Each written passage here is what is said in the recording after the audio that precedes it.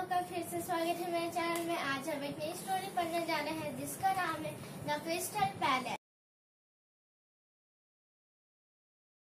once a prince and a princess loved each other deeply and well engage to be married but a jealous magician kidnap the princess the prince desperately search high and low for her for years at last he learned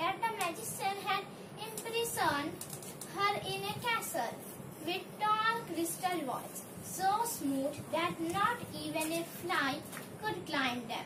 He found the castle but could not enter it.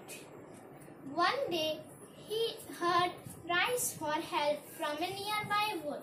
He saw three old hideous witches caught in a swamp. He turned to leave, but their pitiful cries made him rescue them